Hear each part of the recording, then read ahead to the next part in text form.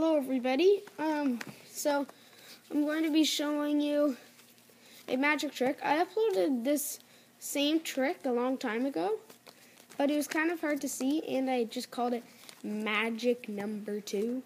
So you probably don't even know what the trick is. So the trick is um, a Svengali deck.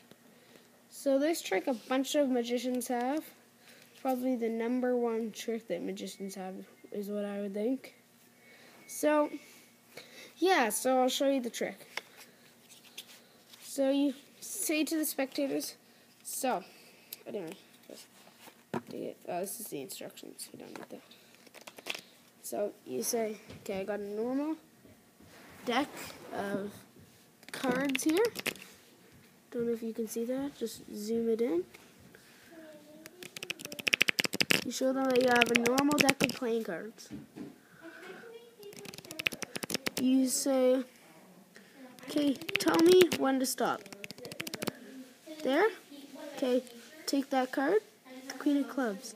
Now, as you could probably see, that card was also on the bottom. When I wave my hands on the top of the deck, it goes to the top, too.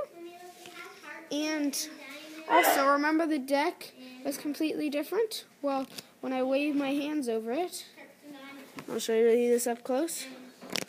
Every card changes to the Queen of Clubs. Your card that you selected. So yeah, it's a pretty cool trick. It's actually an amazing trick. If you if you do this to a magician, I don't really recommend doing it because they'll probably already have this trick and know how to do it. But if you just do it to a random person, they'll be amazed. So yeah, that's the trick Svengali deck. They also have this in Bicycle so that it looks like a normal deck. So yeah, thanks for watching and I'll see you next time.